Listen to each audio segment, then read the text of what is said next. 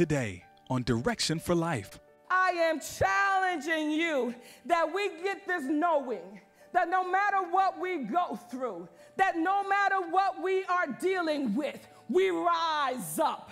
That we are the she that chooses to rise. That we get up, that we encourage, that we make good, that we endure, and that we continue, and then we help our sisters up. And we're gonna rise in our night season.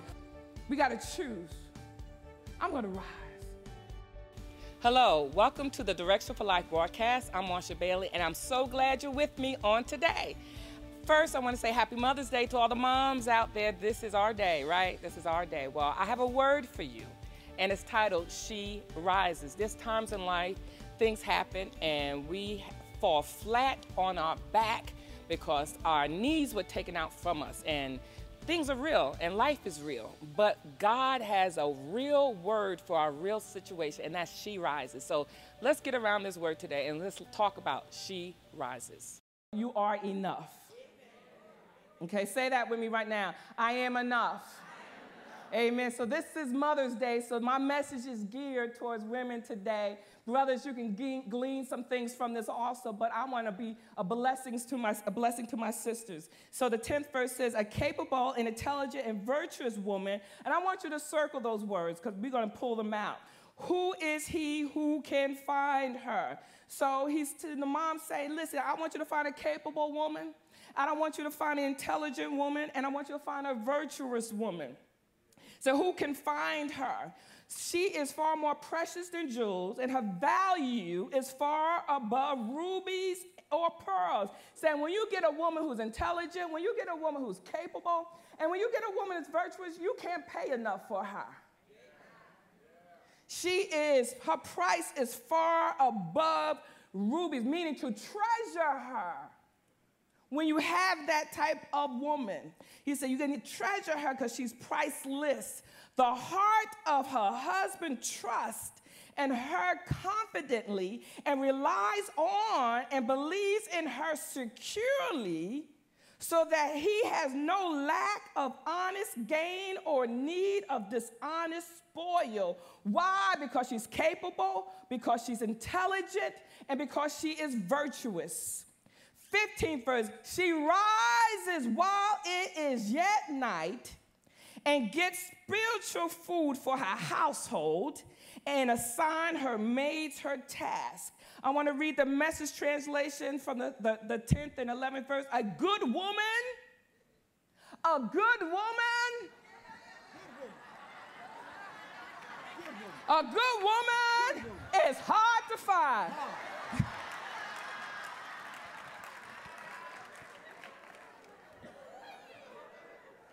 I heard the Lord say, say it one more time. A good woman is hard to find.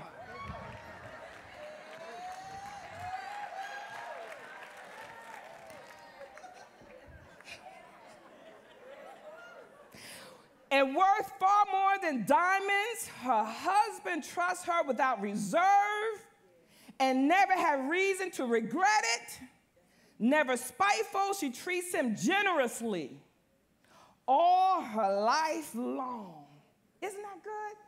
He said, so when you find a woman, you'll treat, this is just extra, she'll treat you generously, pressed down, shaken together, running over with the blessings of the Lord will come into your life because you done found a good woman. And so I want to pull out, let's go back to the 15th verse. I want to pull out the first part of the 15th verse. She rises while it's yet night and get spiritual food. So the message title today is She Rises. She rises. And there's certain things as life goes on, and it's getting really crazy when, when, the, when, you know, as we approach the coming of the Lord, things are escalating, stuff will get really stupid.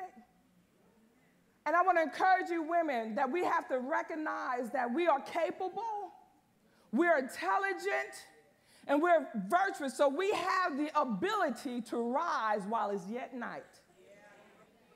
And so I want to encourage you, women, it's easy to lay down. It's easy to give up, man. You just go, just coat, just let the current take you out. But it takes Holy Ghost strength, it takes the Word of God to stand up in the adversity that life has given you. So I want to encourage you this morning this is our goal that as women we choose to become the she that rises. And say, I will rise up in my night season, rise above the fray. As women today, we have to rise above the fray. There's so many people saying stuff, doing stuff. Social media, y'all, is crazy with some foolishness. It will distract you, aggravate you, and make you want to go to a place. I'm digressing. But you got to rise above the fray. When people talk about you, rise above the fray.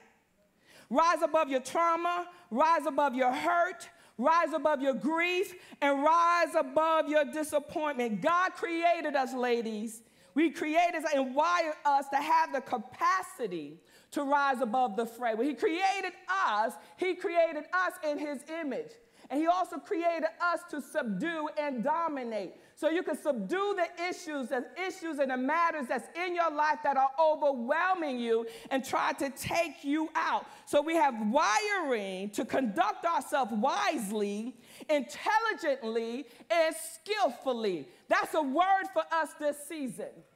We need to conduct ourselves intelligently, skillfully, and wisely. I said on Friday during Women's Bible Study that, you know, we can redeem the time, you know, but I'm so tired of having to redeem the time. I want to keep my wits about me so I can operate and, and I take full advantage of the time. Amen. And so that's the challenge for us this morning that we no longer be up and down, up and down, up and down. It's a fight, it's challenging, but we're not going to do it in our own strength. And that we also identify with the me, the me that God created me to be on the inside. There's a you that God created you to be that has capability, has the ability to think your way out of situations, and has the ability to stand underneath the pressure. So that's how He created us to be. So, in the midst of chaos and heartbreak, she rises. Man, there's certain women throughout history who rose in the midst of chaos, in the midst of situation. They rose. I, um, there's Serena Williams, a, a tennis star. She had injury and she has frustration. She had losses, but she made a decision that I'm going to rise. Amen. I like that.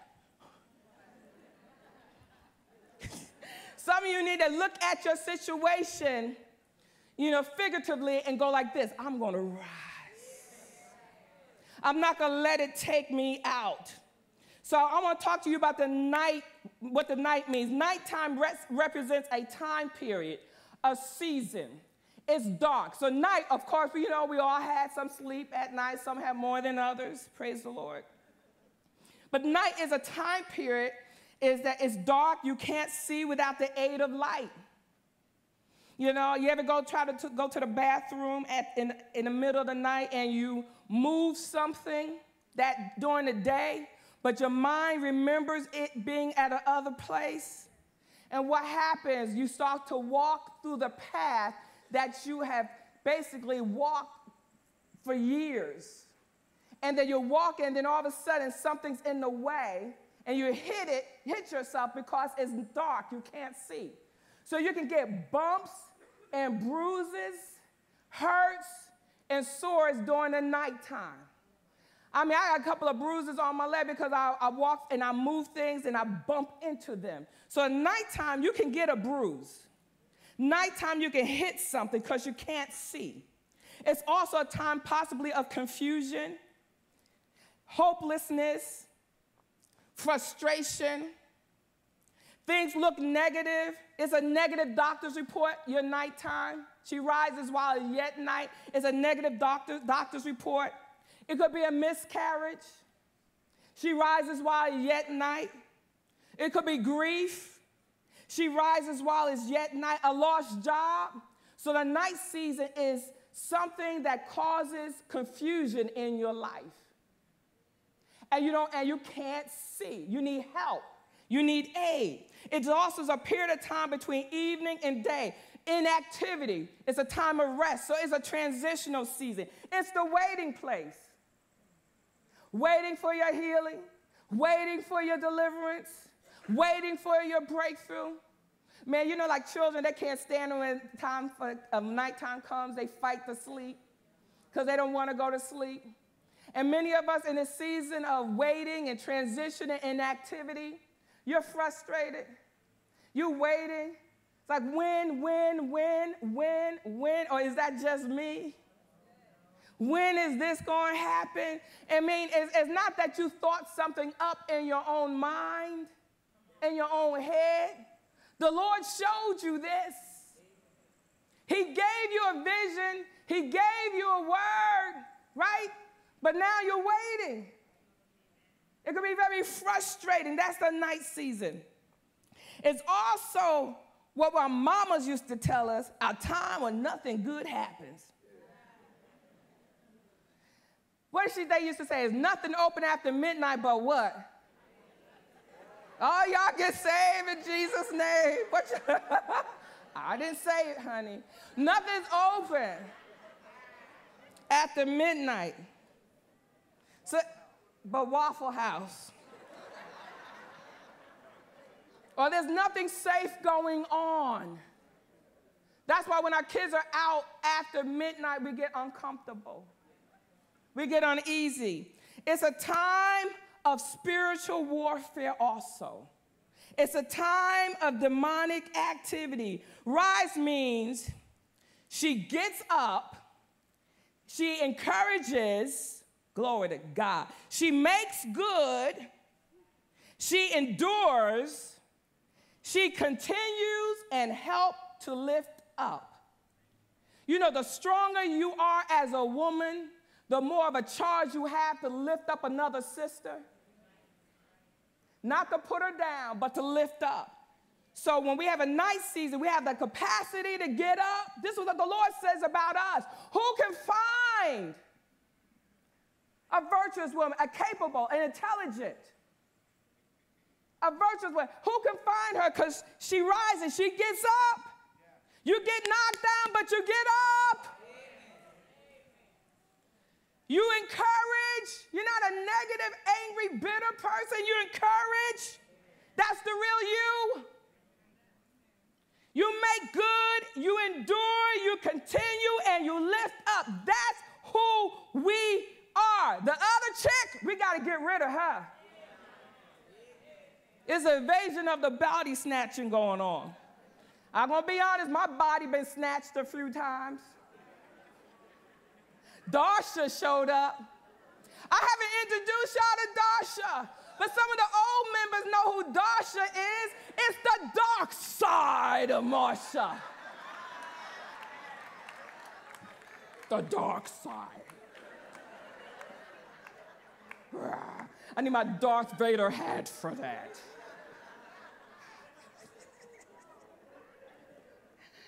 She had to go. I got scared of her after a while. Girl, you scared me. I'm gonna get right. Darsha helped me to walk right. She helped me to walk on the path of righteousness because she was unconverted unregenerated. That's my soul. It's my life experience. It's everything I've been through. It's how people treated me. It's what I learned how to do. Ain't nobody thinking about you but you. Every man help himself. God help us all. It was that's her. And I had to get rid of her because it was unprofitable for me in the kingdom. It was in conflict with the word. So I had to make a decision. I got to dump that chick. So, ladies, we have again the capacity to be intelligent, capable, virtuous, regardless of the season we may be in our life. We have the capacity to rise up, get up, to encourage people. We have the capacity to run our households and get spiritual food for our family. That's a word of encouragement. Women, you have a capacity to tap into the throne room of God and hear a word about your life, hear a word about your children, hear a word about your husband so you can stay encouraged, so you can lift yourself up, so you can empower yourself to do what God has called you to do. Ladies, again, listen, the Lord told me to tell y'all, He wanted you to know that we are wired not just with this capability, ability, you are wired with special ops. You're the elite military armed forces. Some of you are the quarterbacks of your family.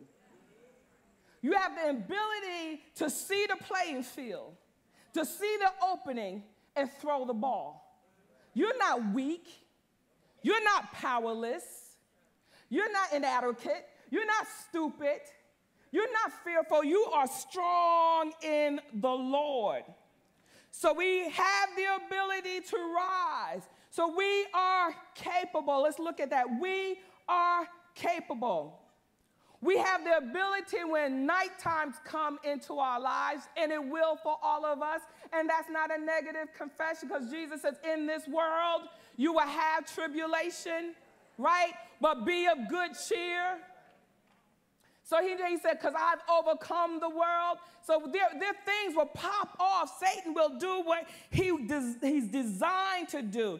And but we have the power and ability to navigate our lives and navigate ourselves during the midnight experience of, the, of our lives. Psalm 16 and 7, the Amplified Translation says, I will bless the Lord who given me counsel. Yes, my heart instructs me in the night seasons. So the Lord will give me counsel and you, He will talk to us. He will, he will give us wisdom. He'll counsel us in the night seasons of our lives. I remember many a, a night the Lord giving me counseling regarding how to mother my children or how I'm going to do what I need to do. He will counsel us, but He'll only counsel us if we go to Him. So you have to have a prayer life. So he wants us to come to him, spend some time in prayer, and he will lead you and guide you and direct you. He'll tell you what to do, when to do, how to do it. We can't sometimes listen to the wisdom of our friends. We can't listen to the counsels of our sisterhood because they may give you stuff from their own negative experience. We need wisdom from God because sees our end from our beginning. And he wants us not to abort the plan. He said, I got a word to help you to navigate the landmines in your life. Anybody had landmines, or was I, am I the only person that had landmines? So I had to go to God and he'll tell me, Marsha, do it like this. Marsha, don't say anything right now. Marsha, just stand and see my salvation. Marsha, pick up your warfare arms. Marsha, just sing a song unto the Lord. Marsha, go talk to this person. He helps you to navigate the landmines, the traps, the booby traps that Satan has set for your life to cause you to derail and abort the plans and purposes. So he will coach us, God will coach us, counsel us, and His word will lead us. His word will be a flashlight empowering us to see. Psalms 119, 105 Your word is a lamp to my feet and a light to my path. So he will give you a word. That's why we need our Bibles. I know we got them on our devices. However, whatever it works, the word is the word. But you go and get the word. You go and get the word. You'll go and get the word. I was looking, and the Lord was just dealing with me. So I was having a, a conflict within my soul. And I began to think about some things. The Lord began to get, He said, Marsha, go, go to Joel. And He said, I will restore unto you the years. So that word became a light for me at that moment. The word, sometimes you have it in your heart and you can pull it out of your heart. But sometimes your heart is filled with so much stuff and it got a lot to dig through. So you got to go and get the word. You sit there. So I sat. I sat with that word open. I was like, God, I need you to speak to me. And so I got the word. I said, I'm going to ride through this word of God. You're going to help me, Jesus. You're going to help me. And I had to stay there till I got some help. Sometimes that help won't come in a minute. It may come, it won't come in five minutes. Sometimes it'll come in an hour. But God, you're going to help me. Your word is a lamp, it's a flashlight to my soul. You're going to help me to be able to stand. Number two, we're intelligent. We're intelligent. We have the capacity to think our way clear during times of tests, trials, and intensity. We have that capacity. And what the Lord began to deal with, see these ladies, they're looking at a map, they're strategic. We have, we have to tap into our executive functioning skills. We have to tap into them. They're there. Stress burns them, fries them, makes us hard to find them. But we got to tap into them. How do we tap into our executive functioning skills? And this is the ability to have emotional control. That's why they say women can't be in positions of leadership. They say that, you know, they're too emotional. They don't want women to be elected to high offices. Okay, first there were none. Then we moved into mayors. Then we moved into being governors. And, you know, we thought we was going to have our first women's, woman's president. It's like, no, we can't have it. Women aren't wired for that. I don't see anything in the Word of God. I was going to try to make this message this kind of message, but I don't see anything in the Word of God that says that we can't do certain things. And it didn't say just for men. It said them. I created he, me, them, in my image, male and female. So we have the creative power on the inside of us to subdue and dominate, to win in every arena in your life. I don't care where you are in a boardroom. You may be the only female, but you are intelligent and you're capable. You have the power and ability through Him to tap into your executive functioning skills. It's a challenge. God made us with emotions. But under the curse, they have their best with us. But in Him, we manage them. Emotion, God made us as women to have emotion so we can reflect the great side of God, the good side of God, the best side of God. I'm just playing. I have to say that because I don't want us as women to lose our emotions. God made us with those emotions, but we have to learn how to manage them. It's task initiative, executive functioning, task initiative, that you have tax, tax, tax, and you have the ability to initiate on them. You ever been through some stuff and it's so hard for you to get moving? That's Satan attacking your executive functioning skills. He don't want you to initiate that thing. It's memory. You go through some stuff, I can't remember anything, I'm tired. That's he's coming for your executive functioning skills, ladies. The ability and we also focus attention, prioritizing, and planning. So through the Holy Ghost, First Corinthians, the second chapter, starting at the 12th verse, we have the ability to pull on these executive functioning skills. And we'll pull on them through praying in the Holy Ghost. Now we have received not the spirit of the world, but the spirit which is of God, that we might know the things that are freely given to us of God. So we receive the Spirit of God so that we can know some things, which things also we speak not in the wor- words which man's wisdom, wisdom teaches, but which the Holy Ghost teaches. So the Holy Ghost would teach you some stuff, comparing spiritual things with spiritual. The Holy Ghost will help you to sift through the muck and mire in your life. Man, the crazies, your life going on, the situation is it's all, it's like red alert. You need to be, just release your heavenly language so you can sift what's of God, what's not of God to discern so you can know, God, what are you doing here? Is this you or is this the devil? So you have that capacity because the Holy Ghost will give you words to speak. 14th verse. But the natural man receiveth not the things of the Spirit of God, for they are foolishness unto him. Neither can he know them because they are spiritually discerned. You know, there's some things that the Word of God teaches us how to conduct ourselves as women, how to interact with our husband. It seems foolish. Submission, foolish. Not trying to get even, foolish. Now, it's, it's the world. That's the world's doing. That's the world. That's how the world conducts itself. But Romans 12 said, Be not conformed, fashioned, shaped.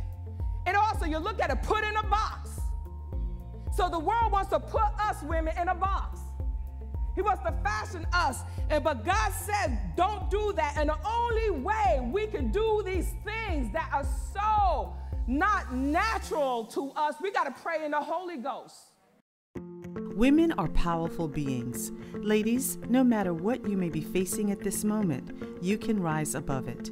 Dr. Marsha Bailey explains that God has given women an innate ability to overcome obstacles and soar above any mountain. Order this powerful message today.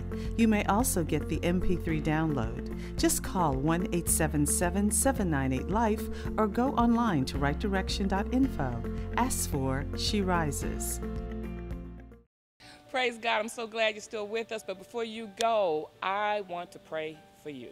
I don't know what you got going on in your life, but the Lord loves you and He cares, and His strength will strengthen you. So let's go before the Father in prayer. Father, I just thank you, Lord God, for all the moms out there. I thank you, Lord God, for all the hearers, Father, that you are our help and you are, are our strength, and you empower us to go from one place to the next place. So, whatever has gotten us down, whatever has knocked us down, I thank you, Lord God, for the power of the Holy Ghost helps us to rise back up. And we thank you, Lord God, for who you are. In Jesus' name, amen. Praise God for you. Listen, before you go, if you want more prayer, there's a number on the screen. There's people waiting to pray for you, and we want to thank God for you. Also, if you want this message in your library, they also will be able to assist you with that. But before you go, listen for that still small voice saying, This is the way, walk ye in it. Family, women of God, I am beseeching you. I am challenging you that we get this knowing that no matter what we go through, that no matter what we are dealing with, we rise up. That we are the she that chooses to rise. That we get up, that we encourage, that we make good, that we endure, and that we continue, and then we help our sisters up. Even though you're pressed, even though you're going something, some things, glory is being imparted to us and we're going to rise in our night season. Thank you for watching the Direction for Life broadcast. We'd also like to thank our Direction Connection partners who make this broadcast possible.